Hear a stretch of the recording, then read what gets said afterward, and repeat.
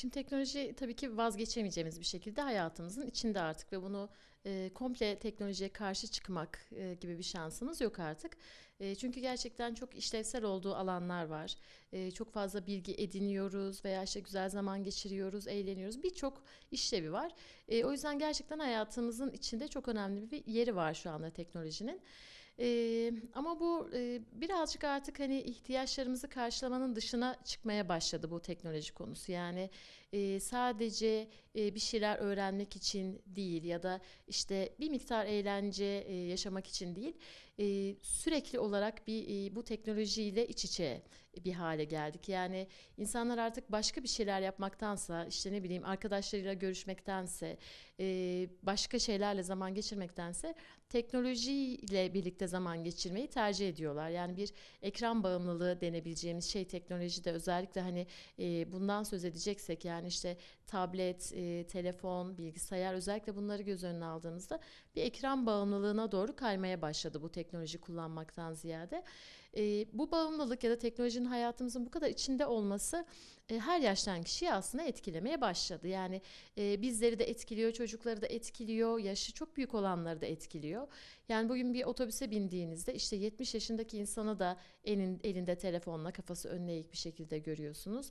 E, ya da dışarı çıktığınızda bir yerde oturup yemek yediğinizde 2 e, yaşındaki çocuğun elinde de tablet görüyoruz artık. E, bu iş birazcık e, amacını aşmaya başladı aslında. E, bu soru bize gelen ailelerin de çok fazla sorduğu bir sorudur. Kaç yaşında telefon almalıyız? Ee, aslında soruyu birazcık şöyle düzeltmemiz gerekiyor. Kaç yaşından önce telefon almamalıyız? Hani illa ki şu yaşta telefon alın diye bir şey yok ama belli bir yaştan önce evet telefon almayın. Ee, bu konuda farklı görüşler var. Ee, bazı görüşler 14 yaşı sınır koyar. Ee, biz de aslında 14 yaşı sınır koyuyoruz. 14 yaşından önce telefon alınmasını uygun bulmuyoruz. Ee, bazı görüşler 20 yaşı sınır koyar. Hani bu e, çok uygulanabilir bir yaş değil. 20 yaşına kadar e, bir çocuğun veya bir gencin artık telefon sahibi olmaması. E, ama burada da sadece yaşla değil yani çocuğunuz 13 yaşındadır ama okula gidip gelirken toplu taşıma aracı kullanıyordur. Böyle bir durumda e, artık işte siz ondan haber almak için veya daha fazla merak etmemek için e, bazen almak zorunda kalabilirsiniz. Ama burada da bazı şeylere dikkat etmek lazım. Yani gidip de çocuğa akıllı telefon almamak lazım bu yaştaki bir çocuğa. Hani sadece arayabileceği, birileriyle iletişim kurabileceği bir telefon alınması lazım. Ve bunda da bizim ailelere önerdiğimiz bazı şeyler oluyor.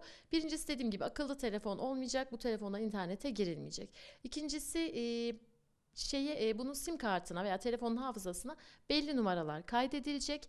E, bu numaralı bu numaraları aileler kaydedecek ve onun dışındaki kişileri aramaması gerekecek çocuğun. Yani çocuğunuz e, işte 10 yaşında diyelim ki ama başka çareniz yok. Çocuğunuz gün içinde e, oradan oraya kurslardan, okullardan hani sürekli bir yerlere gidiyor ve almak zorundaysanız da böyle yapmaları gerekiyor ailelerin. Yani oraya mesela 5 tane 10 tane gerektiğinde ulaşabileceği e, kişileri kaydedecek aile çocuk numarasını etraftaki insanlara vermeyecek.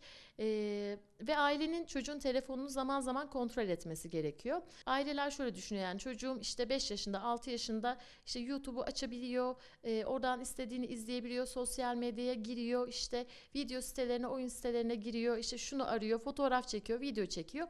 Çocuğum çok zeki çok akıllı e, bu kesinlikle ben bunu hani bütün ailelere de ısrarla söylüyorum kesinlikle zeka göstergesi değil çünkü bu tip aletler bu cep telefonları veya işte kullandığımız tabletler e, çok küçük çocukların veya zihinsel gelişim geriliği olanların da kullanabileceği şekilde tasarlanıyor zaten. Temel şeyleri o yüzden e, sadece sizi izleyerek bile çok küçük yaştaki çocuklar yapabilirler, öğrenebilirler ve bu kesinlikle bir zeka göstergesi değildir.